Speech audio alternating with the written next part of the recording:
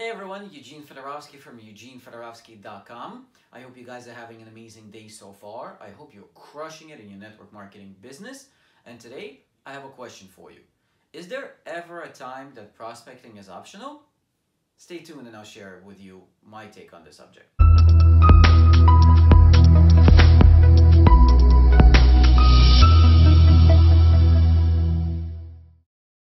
One of the major tips that I got from two weeks ago at the Top Earner Club Mastermind. And that tip is prospecting is non negotiable if you want success in your network marketing business. Now, this came to me as a major surprise, and because up until that weekend, I was under the impression that those that are really good at recruiting did it because they, they like it.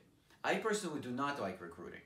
I know how important it is, but because I do enjoy my job and I feel that my marketing is working, so I don't necessarily go out of my way to prospect. If I'm out, if, I see someone who get, gives me great service or I see a sharp individual, I'll definitely prospect them, I'll definitely speak with them, but I don't go out of my way to go specifically and prospect and whatnot. so when at the Top Earning Club Mastermind, we had a chance to stand up in front of our peers and give a presentation on what it is that are that we've been winning at and the things that we're struggling at.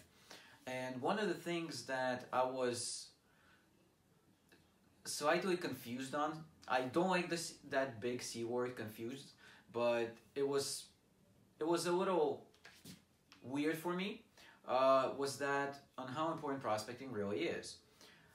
Because I know that there are two ways to grow your network marketing business. That's marketing, which is passive, and it's prospecting, which is active. Prospecting is you going out and reaching out to an individual. Marketing is you putting out value to attract an audience. So back to prospecting. So I mentioned the bit I had about prospecting, and to my surprise, several people raised their hand, and we're talking about really successful network marketers, and they said that they didn't like prospecting either when they were starting to grow their team, but they did it anyway.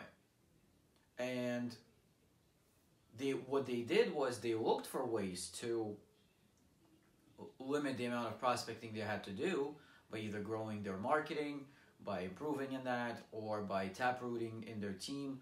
What that means is once you have a team going, you reach out to your team members and then you work with them to get new people.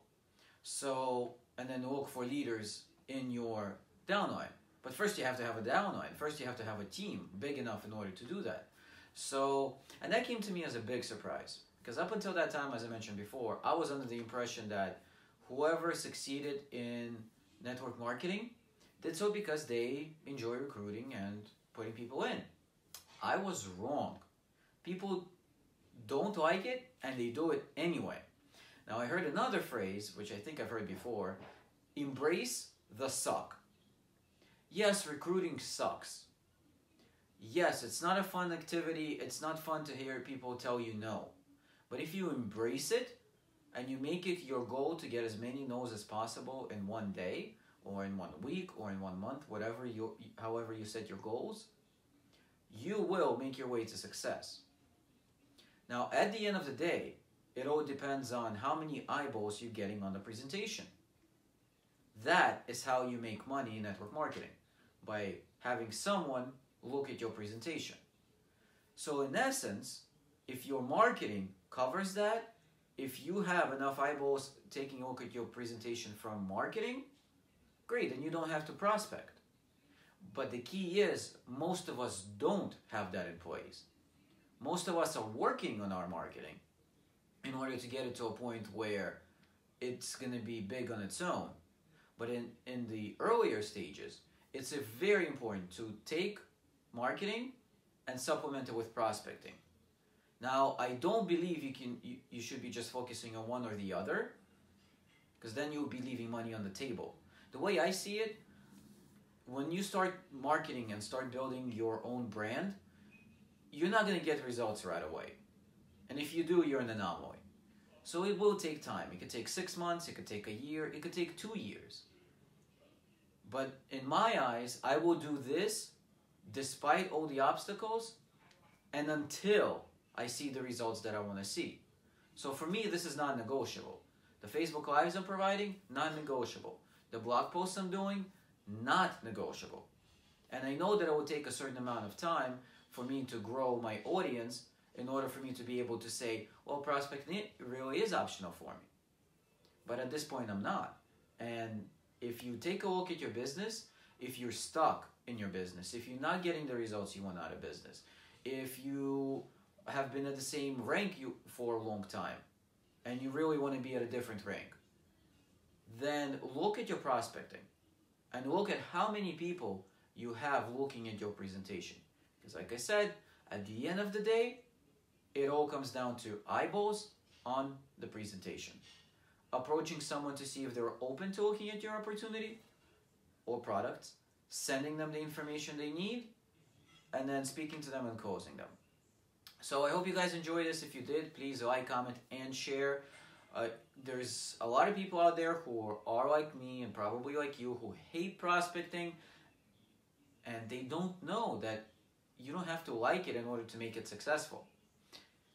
If they're anything like me, they're probably thinking, well, if I don't like it, I'm not going to do it.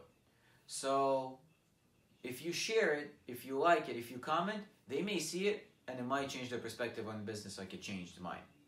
So I'll leave you guys with that. If there's anything in particular you want me to talk at a future video, please feel free to reach out to me uh, by sending me a message. Feel free to visit my blog at www.eugenefedorovsky.com where you'll find videos like this one, which I put out almost on a daily basis. And I'll see you guys next time. Take care.